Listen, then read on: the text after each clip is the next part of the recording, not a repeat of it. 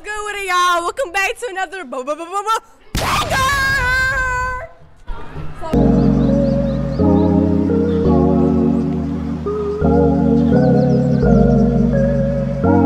I heard y'all, you like Mr. Brown class, so um, what's your favorite thing about Mr. Brown's class? Um, I think the way he makes things fun, like the games. Thanks, fun. What type of games y'all be playing?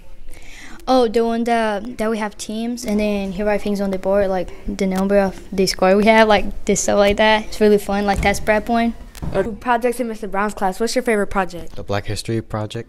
What do you like about that project? Um, we get to learn about um, the history of Black people and lots more entertaining stuff.